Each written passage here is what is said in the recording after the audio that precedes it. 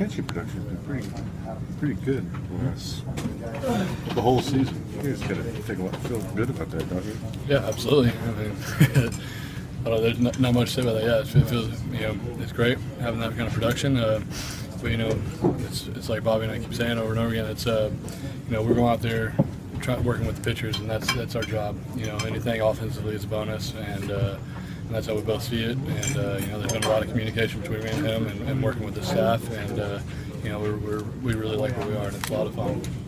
Talking about the home run, it looked like just jumped on that pitch and Yeah, I mean, I didn't want to mess around and see what else he could throw me because he's pretty good out there. So, uh, you know, I was just looking for a, a pitch in the zone that I could handle and try to put the barrel on it, and it worked out.